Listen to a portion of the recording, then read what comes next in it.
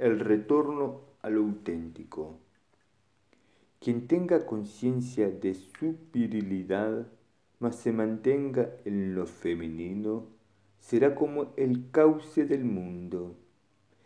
Al ser del mundo el cauce, la virtud constante no lo ha de abandonar y podrá volver a su primer estado.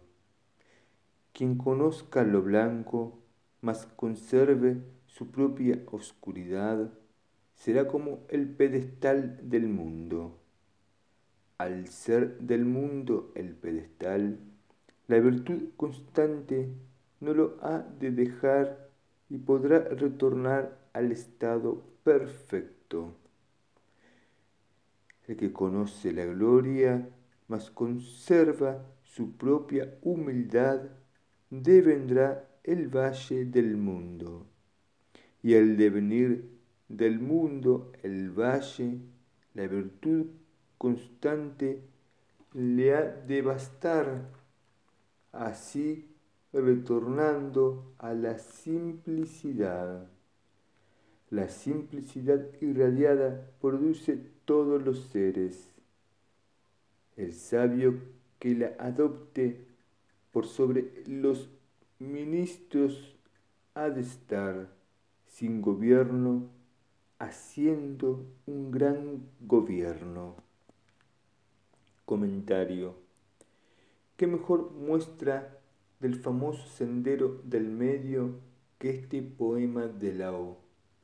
esta vía media, más que ser nada en exceso, constituye la incorporación efectiva de los dos grandes principios, el Xing y el Shang, oscuridad y luz, receptivo y activo, blando y sólido. Nadie puede ser completo si mutila o cercena una de ambas partes.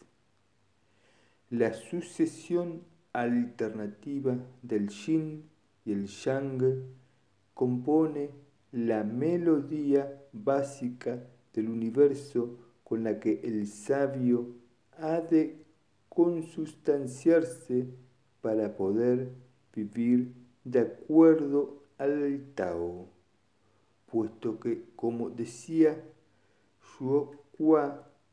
el espíritu mora misteriosamente en todos los seres y actúa a través de ellos, a través de los opuestos que sustentan al hombre, que los nutren, tiene éste a la vez la posibilidad de adherir a la simple virtud.